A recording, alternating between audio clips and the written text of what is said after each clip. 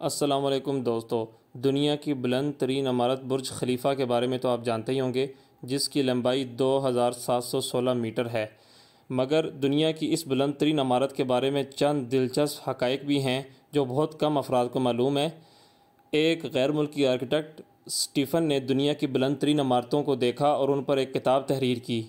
और उस किताब में उन्होंने ज़िक्र किया कि बुर्ज खलीफा में रहने वाले अफराद पर इस अमारत के असरात भी शामिल हैं। स्टीफ़न ने अपनी किताब में तहरीर किया कि इस अमारत के ऊपर वाले हिस्से में लोगों को बहुत दूर तक सहरा नज़र आता है और वह सूरज गरूब होने का नज़ारा निचले हिस्से के मुकाबले में कई मिनट देर तक देख सकते हैं। उन्होंने मज़ीद बताया कि बुर्ज खलीफा में मुकीम अफराद के लिए रमज़ान के दौरान अवतार के लिए वक़्त मुख्तलिफ़ हो जाता है, यानी ऊपर वाली मंजिलों पर मुकीम अफराद को रमज़ान में रोज़े को अवतार करने के लिए चंद मिनट ज़्यादा इंतज़ार करना होता है।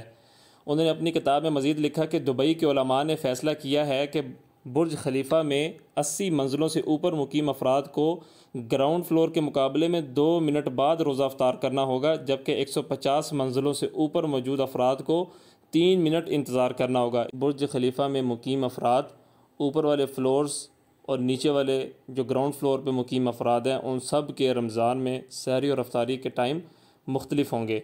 इमारत का दर्जा हरारत और माहौल भी ऊपर वाली मंजिल और नीचे वाली मंजिलों के मुख्तलिफ़ हैं। उन्होंने किताब में लिखा कि बुर्ज खलीफा की लंबाई इतनी ज़्यादा है कि इसका ऊपर का हिस्सा कभी कभार बादलों से ऊपर होता है, जिसके बायस अगर बारिश हो रही हो तो नीचे तो पानी बरसता है मगर ऊपर नहीं। इमारत के ऊपर के हिस्से का दर्जा हरारत भी ग्राउंड फ्लोर के मुकाबले में छः सेंटीग्रेड तक कम हो सकता है स्टीफ़न ने बताया कि चूँकि आप जितना ऊपर जाते हैं, हवा इतनी ठंडी हो जाती है। तो इसी वजह से बुर्ज खलीफा में जो ऊपर वाली मंजिलें हैं, उनमें ज़्यादातर एयर कंडीशनर चलाने की ज़रूरत ही नहीं पड़ती, क्योंकि हवा ठंडी होती है और ऊपर का मौसम भी कदरे ठंडा होता है। व्यूवर्स, उम्मीद करता हूँ आपको आज की ये इन्फॉर्मेशन बहुत पसंद आई होगी। इसी तरह की वायरल न्यूज़ और इन्फॉर्मेशन के लिए हमारे चैनल ग्रैंड न्यूज़ को सब्सक्राइब करें, हमारी वीडियोज़ को लाइक करें। अल्लाह हाफिज़।